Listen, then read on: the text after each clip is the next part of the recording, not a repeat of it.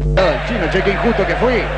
Trota se quedó, le va a dar Sandona. Lo curioso es que quien preparó todo fue Basualdo, que fue el primero en llegar. Y mentira que le va a pegar Basualdo. No, se está poniendo adelante para organizar la jugada. Entra el chino Sandona, ojo Sodero, que la, está, la pelota está rebaladiza, ¿eh? Le va a dar Sandona, buen momento, ¿eh? Le dio el chino, le dio Sandona. ¡Gol!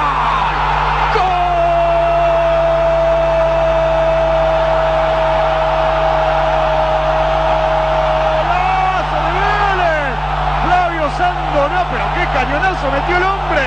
A los 12, Vélez 1, River 0.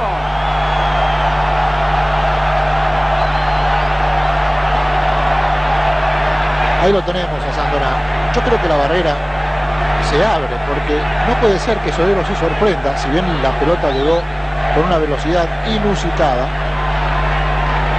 Sodero busca una explicación, ¿cómo llegó esa pelota? ¿Cómo pasó por la barrera?